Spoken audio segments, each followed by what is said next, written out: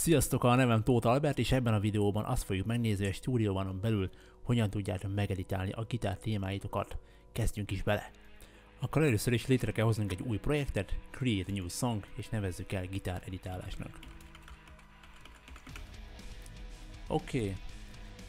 És miután létrehoztuk az új projektünket, ugye be kellene importálnunk az adott audio fájlunkat, azt úgy tudjuk megtenni, felmegyünk a fejlészbe, Song Import File, és kiválasztjuk az adott audio fájlunkat. Nekem ez a felvétel 110 BPM-ben van, tehát akkor tempónkat is állítanunk el, ezt úgy tudjuk megtenni, lejünk ide alulra, és itt van a tempó feliratnál ez a 170-es érték, ha kétszer belekattintok, utána tudom majd átírni a tempónak az értékét. Átírom akkor 110-re. Hogyha ezzel meg vagyunk, akkor a következőt kell tennünk az editáláshoz. Ki kell választanunk az audio sávot, jobb klik, audio, detect transients.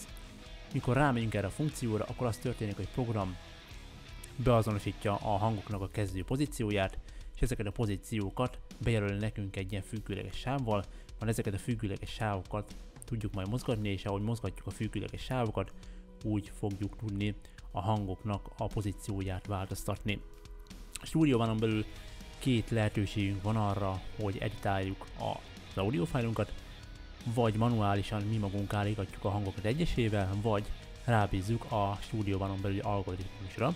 Először a stúdióban belüli algoritmusos verziót fogjuk megnézni, utána pedig a manuális módot.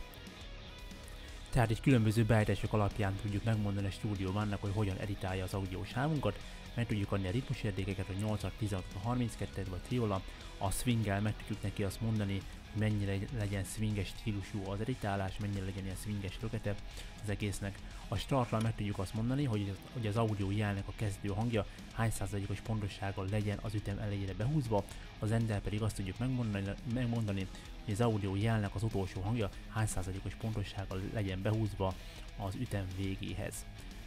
Az ABCDE gombokkal pedig prezeteket tudunk beállítani, és hogy rákattintunk magára az apply-ra, akkor végrehajtja magát az editálást, nézzük is meg, mi történik.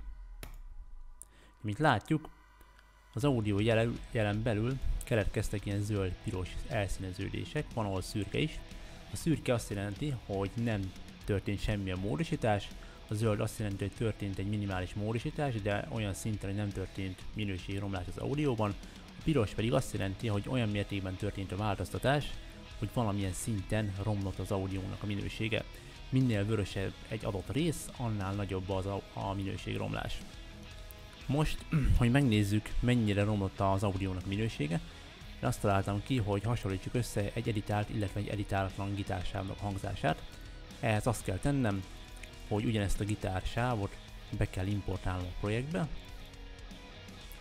Hoppá, Először hozom egy új sávot, beimportáljuk a projektbe, és hozzáadok egy gitár erősítő szimulátort.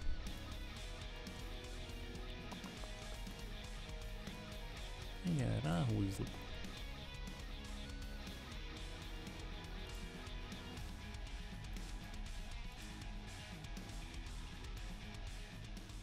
És akkor először hallgassuk meg az editál gitársávot.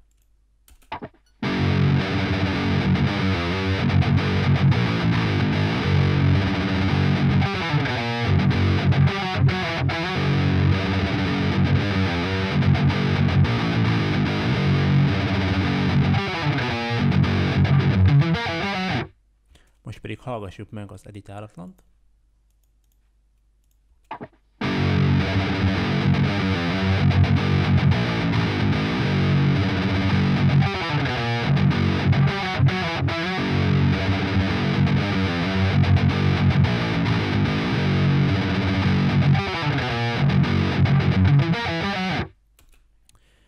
Így annyira nem hallatszik a különbség, de nézzük meg, hogy hogyan szólnak a sávok erősítő szimulátor nélkül.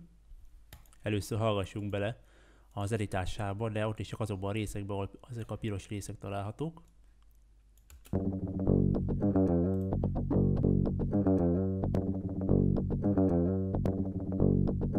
Most pedig az editálatlan nézzük meg. Én nagy különbséget nem hallok a kettő között, hogyha van is valamilyen minimális különbség, az a mixben úgysem fog szerintem előjönni.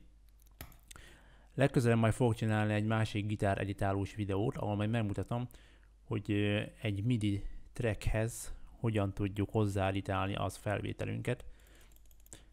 Most pedig nézzük meg, hogyan kell manuálisan editálnunk a gitárságunkat. Ezt kitörlöm az előző sávot.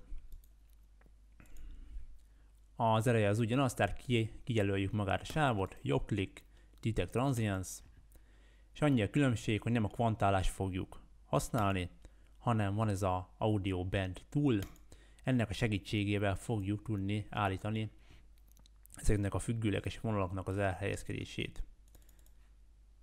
Ki, kijelölitek magát a függőleges vonalat, nyomva tartjátok a balegeret, és tudjátok mozgatni az audio jelnek az elhelyezkedését. Itt úgy tudjátok állítani a kvantálást, hogyha ide feljöttök erre a szürke részre, itt van quantize, itt be lehet állítani a ritmusértéket, az, hogy kvantálva, vagy az ütem elejére húzza egyből a hangot, vagy pedig van ez úgynevezett frames, ezzel a frames-el lehet majd, hogy nem szabad kezüleg állítani magát a pozíciójelölőt, de hogyha kikapcsoljuk ezt a toggle snap funkciót, akkor oda rakjátok, ahova szeretnétek, és nem fog beleszólni maga a program ebben. És mint mondtam, minél nagyobb ugye a változtatás, annál vörösebb a jel, és annál rosszabb lesz az audiónak minősége, és meg is mutatnám, hogy milyen, amikor nagyon-nagyon bele van nyúlva az audióba.